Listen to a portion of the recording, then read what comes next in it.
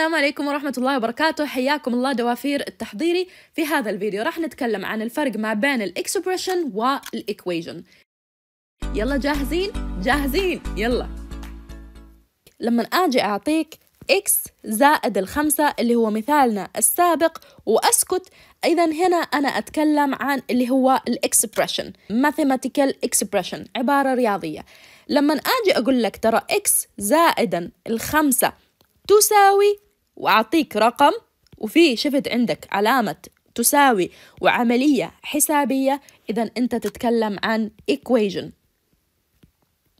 equation اللي هي معادلة رياضية.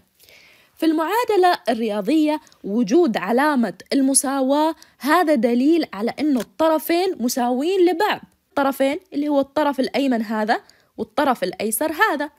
المعادلة الرياضية قد تكون true وقد تكون false كيف يعني؟ مثلا ستة ناقص اثنين تساوي ثلاثة زائد واحد. هل كلامه صحيح؟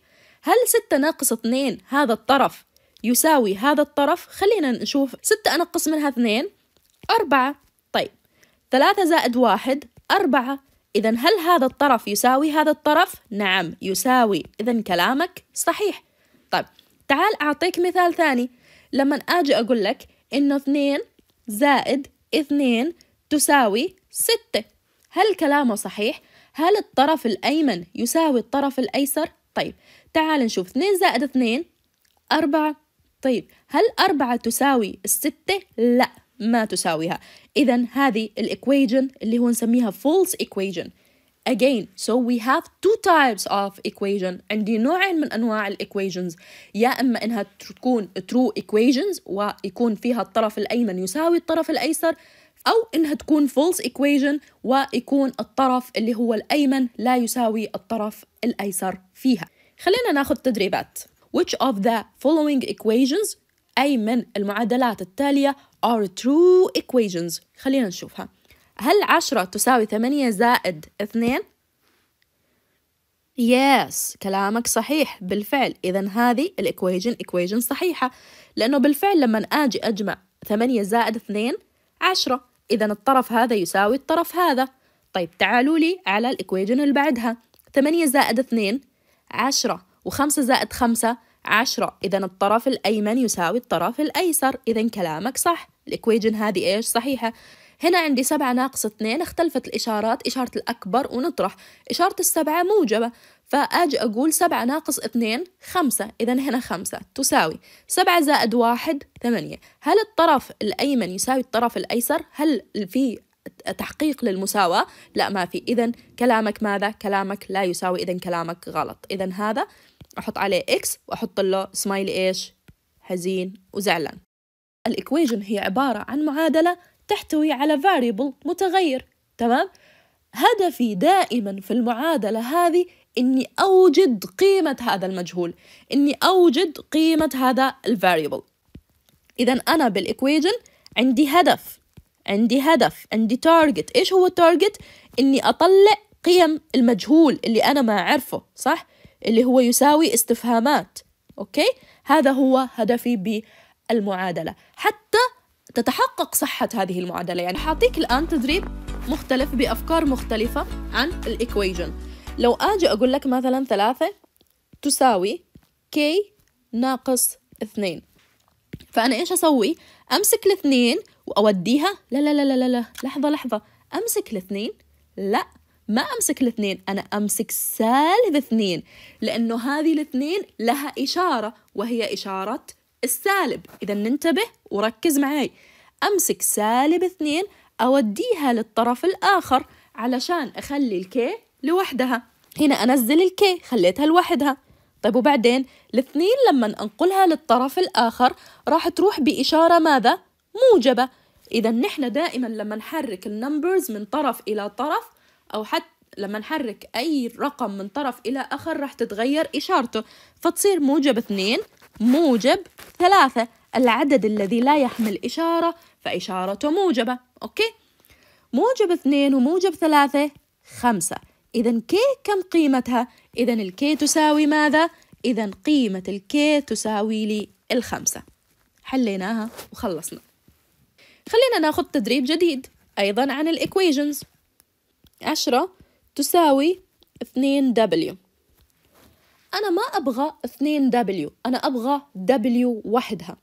علشان أتخلص من معامل اللي هو ال variable معامل يعني العدد اللي جنب مين؟ اللي جنب ال variable يعني لما آجي أقول لك 2 W فين اللي هو ال variable W فين معامل اللي هو ال variable اللي هو الاثنين أنا ما أبغى 2 W أنا أبغى W وحدة. طب وش الحل؟ الحل إني أقسم على معامل اللي هو ال W اللي هو الاثنين. ليش يا teacher نقسم؟ لأنه في القسمة اللي هو البسط يروح مع المقام. فيطلع لك إيش؟ اللي هو ال W لوحده. أعيد. إيش اللي يصير؟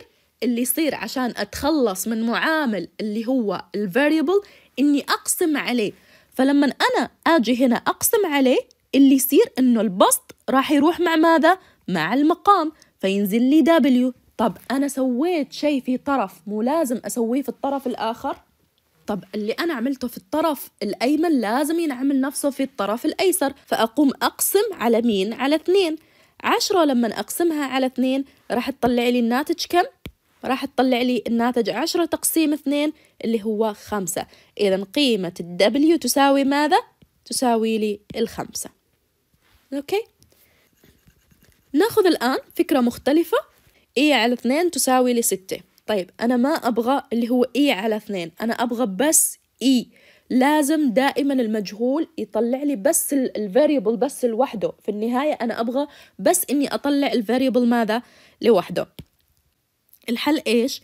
الحل إني أضرب في مقلوب هذا الكسر. عشان أتخلص من الاثنين مقلوبها اثنين على واحد. صح ولا خطأ؟ أضربها في راح أضربها في ماذا؟ في اثنين على واحد.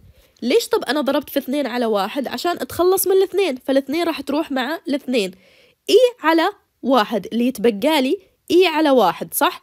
طيب ال a على واحد يعني a صح ولا خطأ؟ يعني a خليني بس أغير اللي هو another color عشان هذا مو واضح. أعيد مرة ثانية.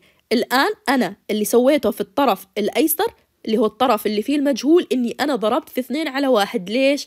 علشان أتخلص من الاثنين. تخلصت من الاثنين تبقى لي مين؟ تبقى لي اللي هو ال a على واحد يعني a اللي أنا عملته في الطرف هذا المفروض ينعمل في الطرف هذا. اذا أيضا لازم تنضرب اللي هو الستة في ماذا؟ في اثنين على واحد. نصيحتي لكم نحن لما نستخدم اللي هو الضرب ما نكتبه x في الرياضيات ما, ما نكتبه x وإنما يكتب على شكل ماذا؟ خليني أمسح لكم إياه عشان تشوفون. وإنما يكتب على شكل point يعني لما تكتب لي ستة point اللي هو اثنين على واحد أفهم إنك راح تضرب هذا بهذا. لا تحط x عشان ما تفكروا variable فنحن راح نشيل اللي هو إشارة ال x هنا ونحط بدالها اللي هو ال point هذه. وبعدين أجي أضرب ستة في اثنين على الواحد. عملية ضرب عادية. عملية الضرب تصير هنا بسط في بسط ومقام في مقام. ستة في اثنين تصير ماذا؟ تصير 12 12 طبعا واحد في واحد واحد فنحن ما نحطه. إذا ال a تساوي لماذا؟ ال a تساوي 12 إذا هذا هو الناتج. نحن كل هذه الهرجة علشان نطلع اللي هو إنه a تساوي 12 إن شاء الله أنت مع التدريبات أو أنت مع التدريبات والاستمرار راح تعرفين تطلعين اللي هو نتائج اللي هو ال algebraic equation بسرعة الصاروخ. You إن شاء الله in the next episode. والسلام عليكم ورحمة الله وبركاته.